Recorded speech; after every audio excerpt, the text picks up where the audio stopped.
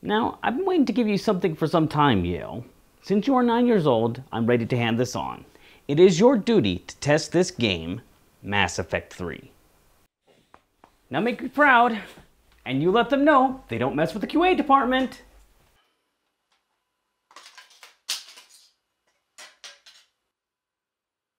And no, you're not allowed to date Cole McGrath. Hey, it's a Bayonetta video. Might as well have some multi-year punchlines.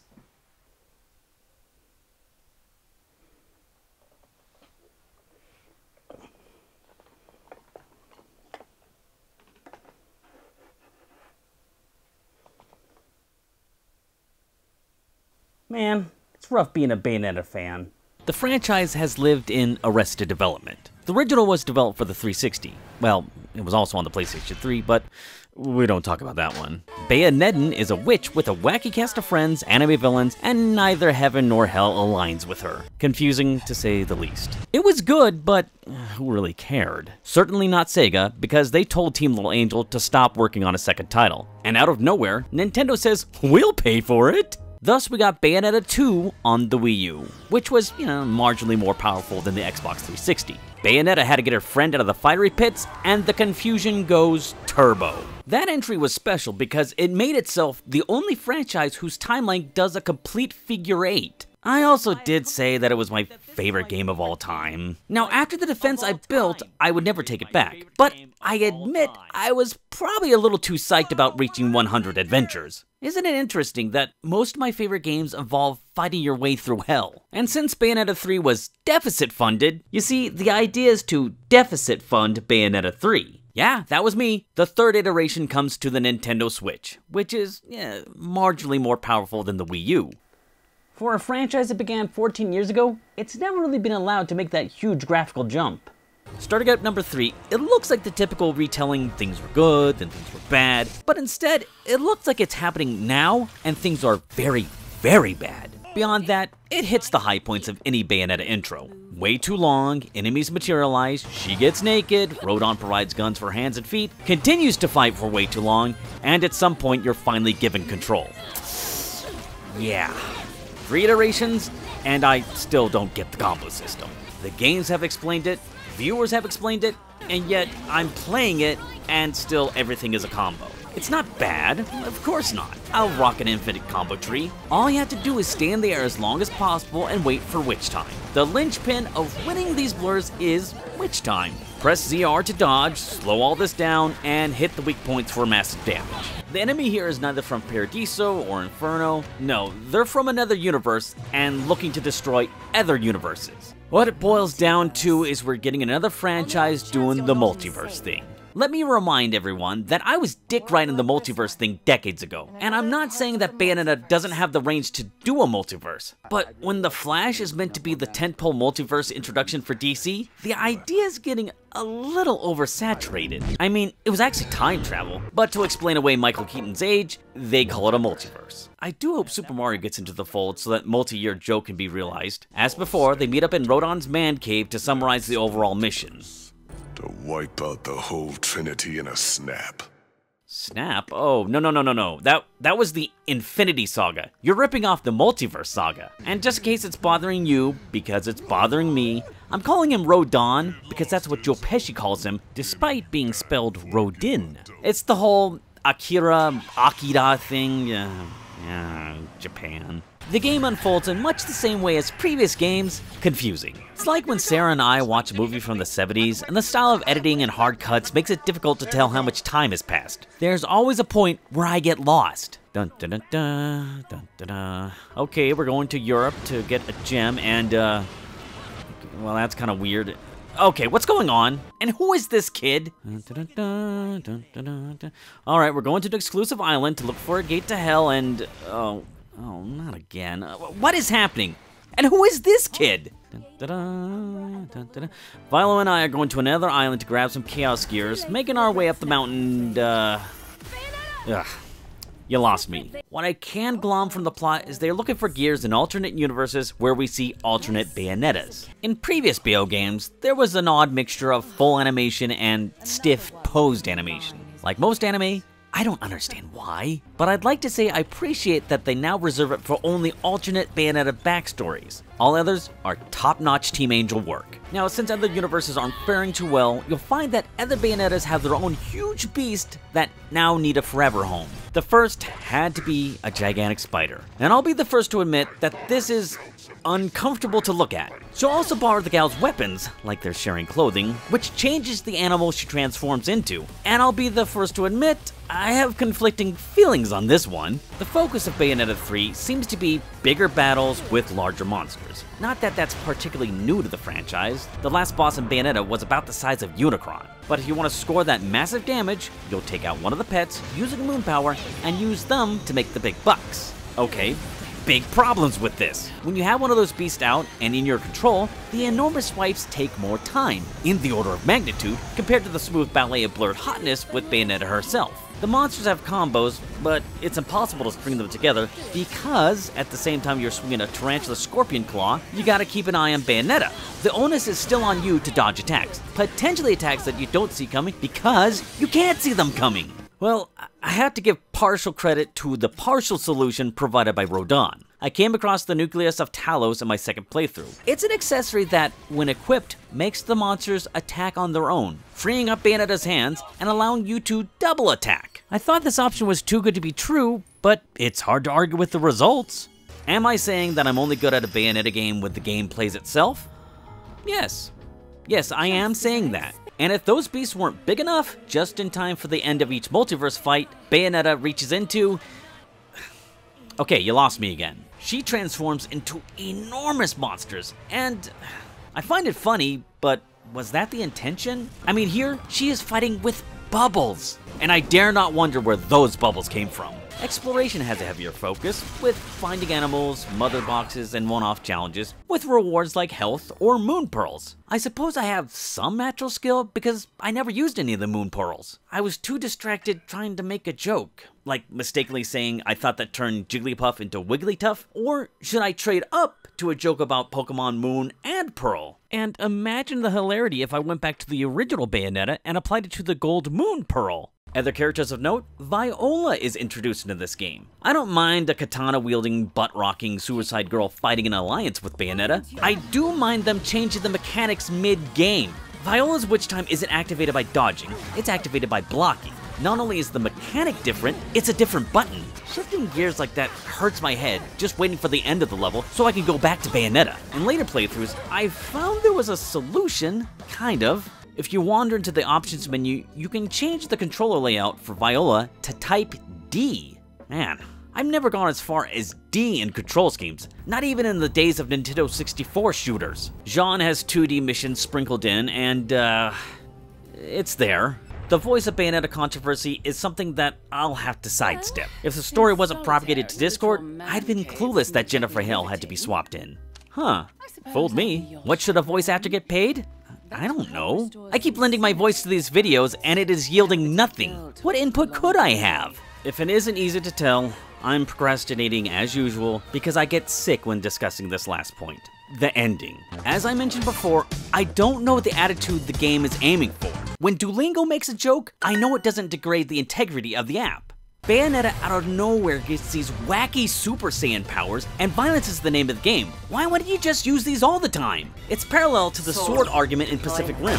Why wouldn't you just use that in the first place? The last actions have a very heavy bearing on the franchise, in stark contrast to just an hour ago, where we were playing Donkey Konga as a boss fight. This is our send-off, and we're just supposed to be okay with this exit? Bullshit! Guys, hell is not a pleasant place, and you generally don't get to bring your fuck buddy with you. And the final insult? No Princess Peach costume! Even before I saw how they intended to continue the series, I punched out. I'm done with this franchise. Remember my earlier comments about Bayonetta never getting that graphical jump? Well, I was gonna circle back and comment on the PlayStation 4 re-release, but no, I'm done. Yes, this is retroactive. You, out of the favorite game list. Wait, I have to get the original. Yes, these have to go too. Bayonetta, you have lost a valuable customer. With the other Bayonetta videos, I had some flimsy reason for the game pairings. This time, it's Hades, and I have no reason. I put so much time into it, I should justify it with a video. Ugh, this is gonna be hard to cover.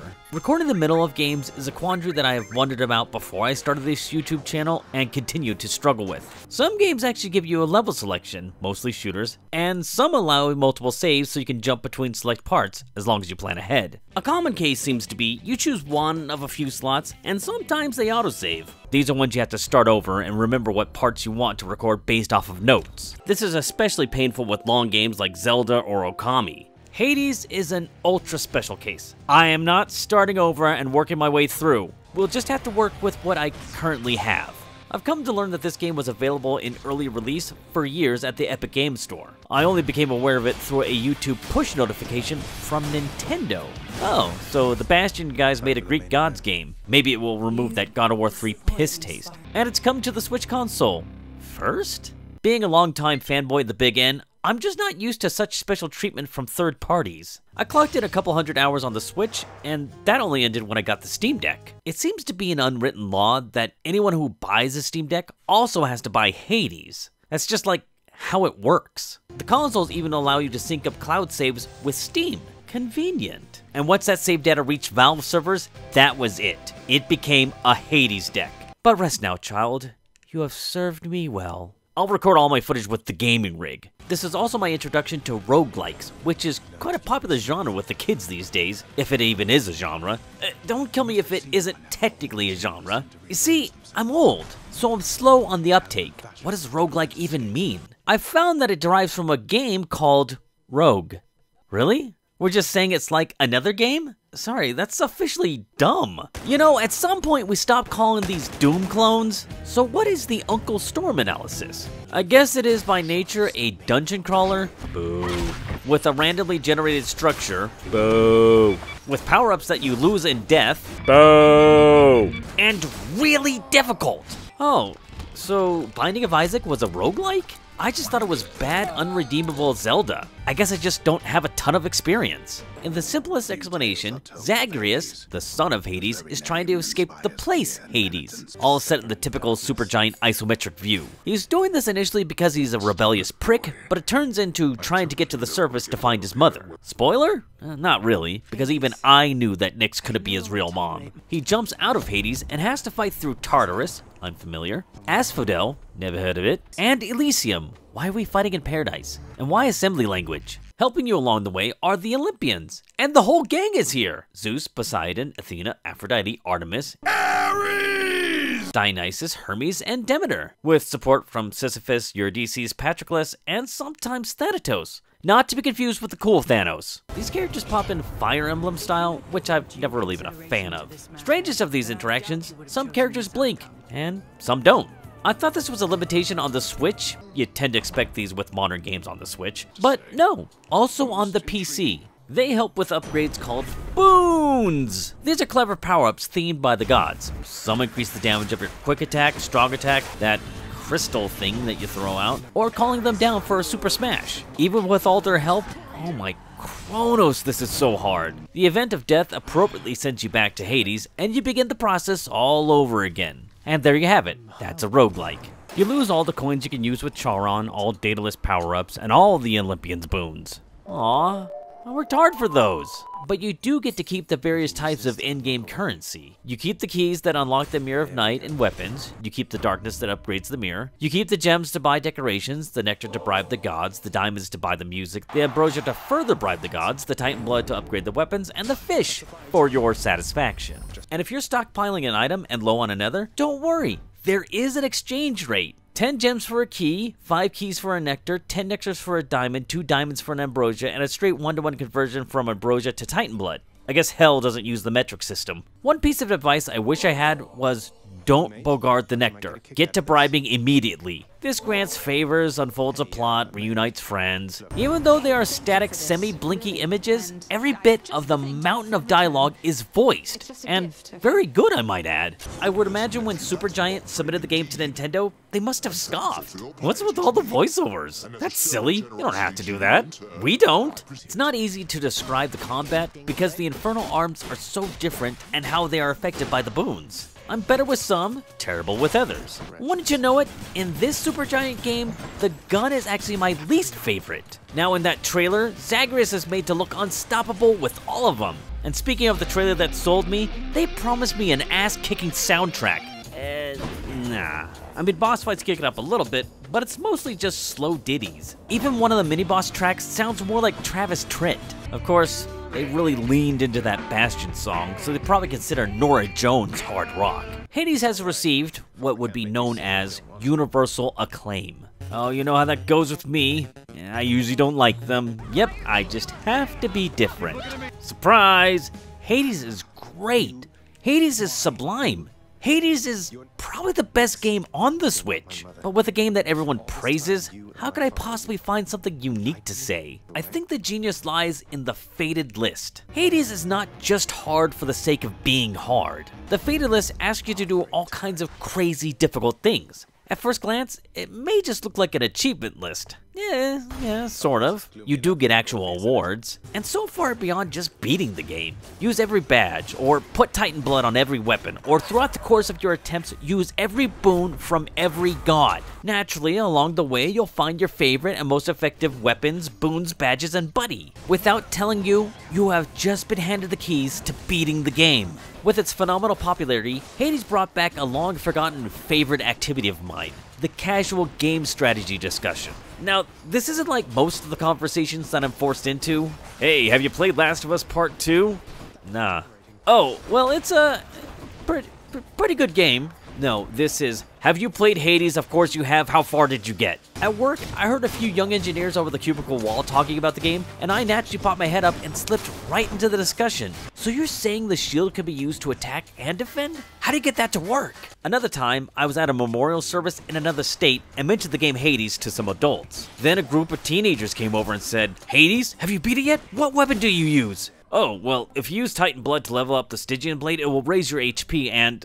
Now, I will never make an argument against free game guides on the internet. That is an awesome thing we have now. But these conversations reminded me of spending entire lunch periods in middle school discussing personal strategies for Pokemon Yellow, Super Mario RPG, Final Fantasy, in the golden age of Final Fantasy. There, that's my unique way of calling Hades good. Now we've come to the part of the Bayonetta video where we run the comparison. Gee, who saw this coming? A game that blew up a franchise that was doing just fine, and a game that history will remember. Of course Hades was better than Bayonetta 3. Just the question of, have you beat Hades, carries a lot of weight. When you do finally beat it, the hammer drops. Hard. Don't worry, it's not a bad ending. It's not like you push both shoulder buttons and Zagreus impales himself on the Stygian blade. Nice reference.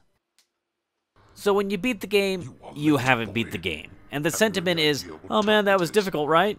Do it again. By the way, if you want any more Titan blood or ambrosia, you can take a ball peen hammer to the face. No, no, no, don't worry. You can control the speed of the swing. Beating Hades is kind of a multi-layered process. There is meeting the original goal, then resolving the story arc, and last, making peace. Having played through this myself, I just wonder, how does anyone review a game this long at release? It took me about 230 attempts, but I have annihilated this game. The Fated List, yeah, done. Steam achievements, I got them all. Oh, and by the way, I beat Cuphead last year. Am I allowed to complain about Doom Eternal now? Hades is so good, I stuck around to do this to completion. It's so good that it began as a digital download and then was released physically. Do you understand that? It's so good, it went backwards. And not with some limited run promotion. No, no, you could go pick this up at Target. No offense to limited run. It's so good, it ruined all other roguelikes for me. Sarah bought Cult of the Lamb, and my quick review was, well, Hades was a lot more fun. And Hades didn't have bugs that occurred in normal gameplay. Now, I don't even want to try Dead Cells. It's so good, I've continued playing the game and I have so much in-game currency. I still have a lot of things to upgrade, but I just don't want to use them. They look so beautiful.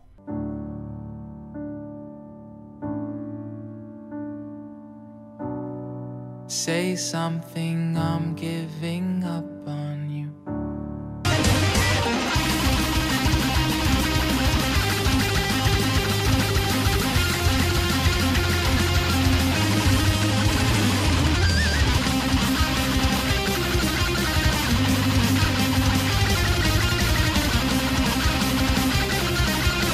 All right, fully upgraded now, but I still don't have enough darkness to get the highest rank at the resource manager. According to my save file, I'm not even halfway there. Oh, Persephone, give me patience.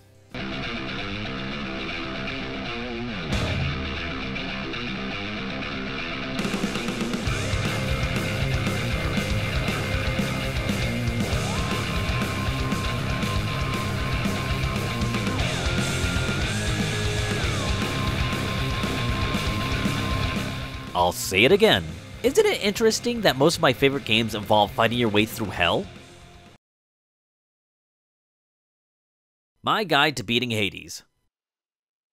Fully upgrade the Stygian Blade, it will give you max health. Before Tartarus, put on the Zeus badge so you can get the electric shot. Then, before Asphodel, equip the Artemis badge and get Artemis's call. Now, no matter what, for the rest of the game, do whatever you can to get the boons again for the chance of acquiring the duo power Lightning Rod. This way, your crystals inflict passive damage. Now, just run around the field avoiding enemies while the crystals do all the work. Wow. I mean, you, you figured all of that out. Like with your brain. And I have a copy on Steam. Okay, uh, here, here, here, here, and here, and here. Du. Du hast. Du hast mich